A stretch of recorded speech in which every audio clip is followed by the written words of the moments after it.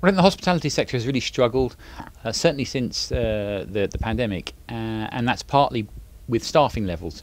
We've lost staff, they haven't come back to that sector, and as a consequence, really genuinely they're looking at reinventing how they deliver a premium service to customers. And I think Audico has the ability to plug that gap. So we're not looking to replace people with this technology, we're looking to enhance um, the experience for customers, and we're also looking to deliver a level of service where maybe venues just can't get staff to accommodate what they're looking for.